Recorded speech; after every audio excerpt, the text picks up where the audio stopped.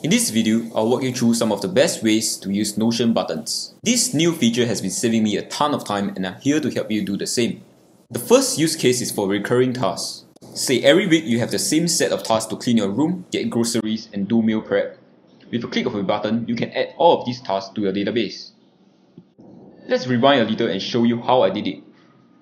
You first add a new button by typing slash button. There are a few things you can customize such as the button text and the icon. You can then see the different steps you can add to the button. For this case, I'll use the step Add Page, and then choose my task database. After choosing my database, I can now preview the task name and its properties. I will then duplicate this step for my other weekly tasks, and that's about it. Next up, we can have a button to easily reschedule all our overdue tasks. This time, I will use the Edit Page tab and then choose my task database. Next, I will add some filters to find all my overdue tasks.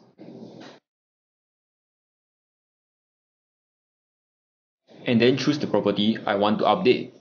I will update the schedule date to today and give it a high priority since it's already overdue. And that's how you create a button to schedule all your overdue tasks. Next, we can have a button to add default tasks to our projects. This is likely one of the best use cases for buttons. An example would be for a video project where you have the same set of tasks each time, like writing the script, recording the video, and editing the video, and you can now add all those tasks in a click of a button. To set this up, we will need to add a button to our page template. I'll first go into editing my project template, and then add a button, and give it a name. I'll use the step Add Page and choose my task database. The important part is to add a project relation property, and then assign it to this page. Depending on which project page where this button is clicked, the task added will be linked to that project. You can repeat this for as many page templates as you need for different projects. And that's how you add default tasks with buttons. Next, we can have a button to check off our daily habits. While this might not be a game changer as our previous use case, it's definitely easier to click this button when you're on mobile or smaller screens. For this button, we will use the Edit Page tab and filter for the habit page assigned to today's date.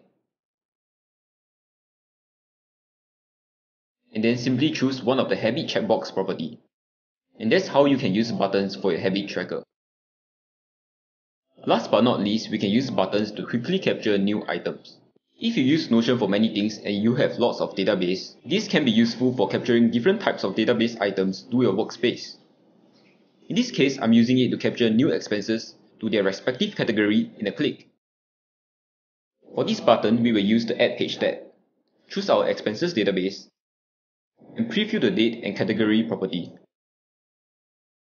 Thereafter, we will add an Open Page tab to open up this newly created page for us to key in the name and amount.